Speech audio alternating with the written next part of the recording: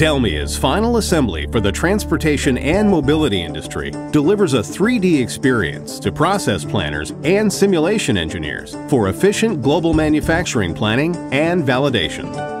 OEMs in the transportation and mobility industry are facing huge challenges to produce more and more vehicle models and variants. While vehicles are produced at faster rates, manufacturers must continue to balance increased productivity and efficiency with quality and innovation.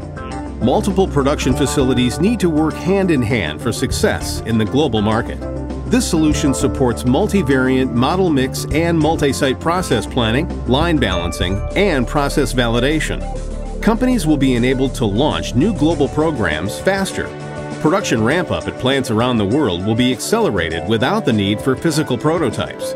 Characteristics for specific production sites can be derived easily from the OEM's global manufacturing plans by just leveraging local best practices.